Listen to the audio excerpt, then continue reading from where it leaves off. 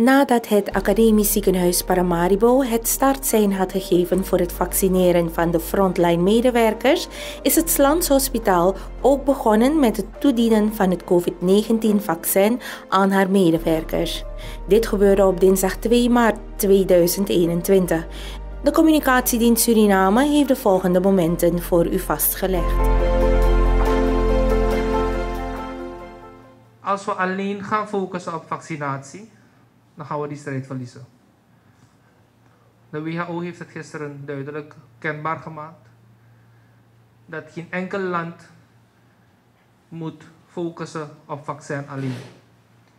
De protective measures en het beleid moet nog steeds in place zijn en de mensen moeten nog steeds de maatregelen acht nemen. Omdat wat we zien wereldwijd nu is dat de mensen, of mensen dan, de mens, ervan uitgaat, veronderstelt dat met het vaccineren ik ook wat misschien onvoorzichtiger kan zijn, wat risico's kan nemen. En juist daar knelt het. Dus de kans dat als een land gaat vaccineren nu, dat cases gaan stijgen, gewoon vanwege een beetje onderschatten en veronderstellen dat vaccineren de enige bescherming is, is heel groot. Dat je dan weer een stijging krijgt in cases. En ik mag zeggen dat de eerste zes weken van vaccineren, na de eerste zes weken bleek dat het aantal gevallen wereldwijd aan het dalen was. Maar gisteren is er weer een lichte stijging te zien. In, in vier regio's van de wereld. En dat kan komen door varianten. Of het kan komen dat er nog niet genoeg mensen zijn gevaccineerd. Maar ook komt het, zeggen ze, doordat de protective measures ook uh, niet goed worden nageleefd meer.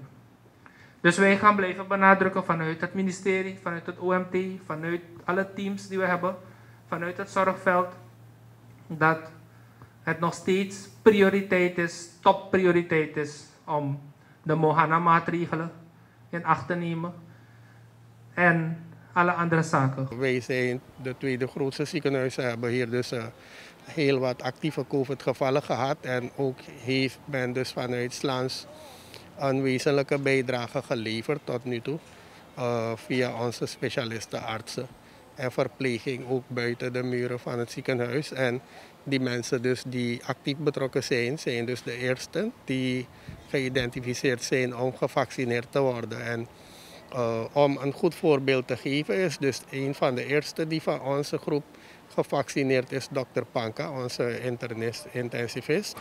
Die een hele actieve rol heeft gehad tot nu toe in die COVID-zorg. Die was dus vorige week in het academisch ziekenhuis gevaccineerd.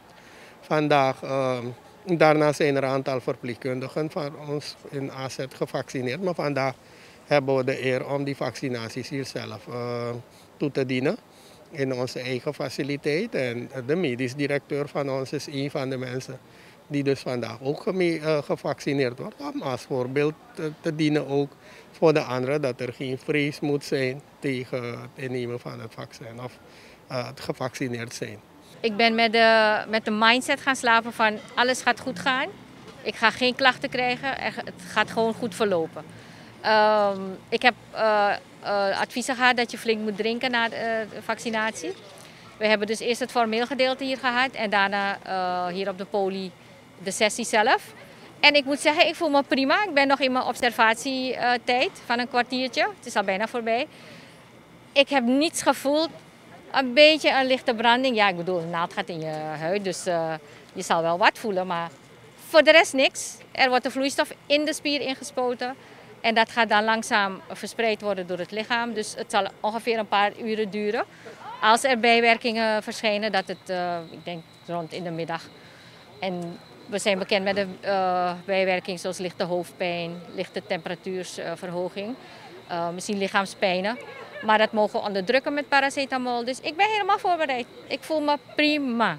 We gaan dus nu samen met het coördinatieteam van die COVID-zorg vanuit BOG, ik heb net met dokter Chang gesproken, zullen we de lijnen uitzetten om de, laat me zeggen, de graad van vaccinaties naar een hoger niveau te tillen. Dat wil zeggen dat we per dag gaan streven naar meer vaccinaties dan tot nu toe is uitgezet. Uh, de minister heeft vandaag een beroep gedaan op alle ziekenhuizen, maar ook op alle directies en instituten, om in een hoog tempo gaan werken. Vanwege het feit dat we gisteren 50 doses vaccin hebben gehad. Dus we moeten um, nu iets sneller gaan vaccineren, iets meer mensen gaan mobiliseren om het vaccin uh, te krijgen.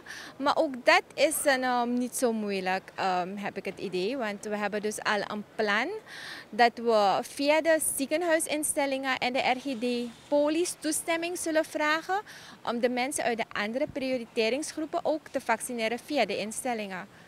Maar ons is vandaag ook duidelijk gevraagd, omdat we een hele centrale plek hebben in Paramaribo, dat Slans Hospitaal ook niet eh, LH-mensen gaat vaccineren. Dus ook andere mensen die in de frontline zitten en ook andere doelgroepen. Dus we zullen dat nog uitwerken. Dus we zullen weer een voorbeeld zijn voor anderen. Dat wij eigenlijk publieke diensten zullen verlenen uh, naar de gemeenschap toe vanuit het uh, Slaans Hospitaal. Er is een, landelijke coördinatiegroep vaccinaties en die heeft een digitaal bestand aangemaakt waar de mensen zich kunnen registreren. iedereen die zich online heeft geregistreerd, daar hebben we inzage in en die kunnen wij oproepen middels een afsprakensysteem. En dan mogen ze van tevoren ook al hun formulieren komen invullen, want er is een hele, hele administratie is erbij betrokken. Want je, we moeten natuurlijk wel weten wat uh, iemand uh, zijn medische achtergrond is. Heb je ooit wel eens... want een van de belangrijkste gegevens die we moeten weten is dus dat of iemand al eens een allergische reactie heeft gehad op een vaccin of op iets anders. Want daar ga je rekening mee houden in je observatietijd na het vaccineren. Laten we ook van onze rol als mens, als gezondheidswerker, communiceren met mensen om preventief geval te voorkomen. Wij mogen niet in een derde golf gaan. Het zal fataal zijn voor de zorg in Suriname.